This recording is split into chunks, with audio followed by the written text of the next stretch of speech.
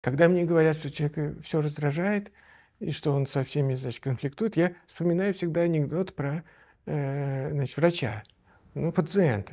Приходит к врачу и говорит, доктор, у меня чудовищное какое-то заболевание. Он говорит, что такое? Ну, понимаете, и тут болит, и тут болит, и тут болит, и тут болит, и тут болит. Вот. На что доктор говорит, ну, это все понятно. У вас сломан палец.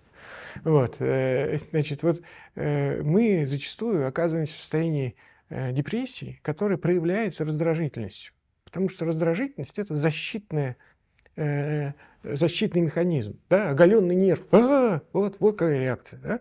И вот, собственно, раздражительный человек часто думает, что проблема в характере, а проблема в том, что у него вот развилась такая раздражительная форма депрессии. Вот. А постоянно раздражительная часто бывает. То есть человек нет сил, но при этом он раздражается на все.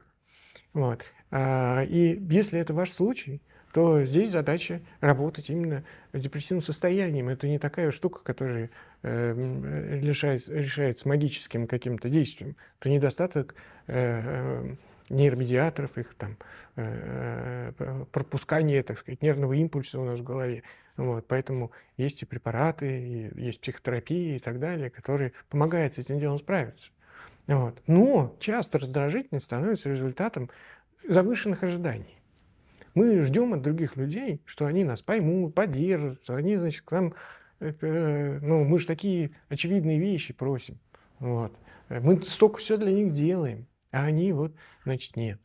И в данном случае за раздражительностью стоит желание изменить этих других людей. Они должны быть другими, более умными, более добрыми, более внимательными, более содержательными, более обстоятельными, более организованными, более интересными, более вдохновляющими и какими-то еще. Но слушайте, это мне тоже нравится весь список. Пусть они такие будут. Вот. Э, Здесь не вспоминается анекдот э, про искусственный интеллект. Э, значит, сидит э, человек и говорит искусственному интеллекту, да что ты, ты же железяка. Вот. Ты, разве ты можешь написать симфонию? Разве ты можешь написать роман? Вот. Искусственный интеллект говорит, ну, я-то могу, а ты? вот. Нам кажется, что вот мы такие прекрасные, понимаете, мы все можем.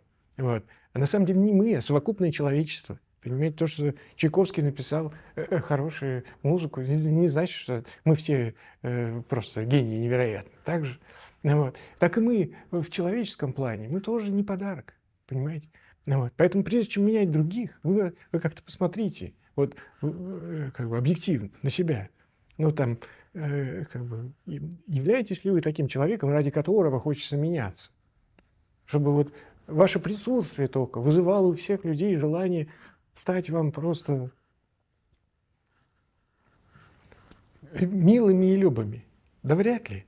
Понимаете, какое дело?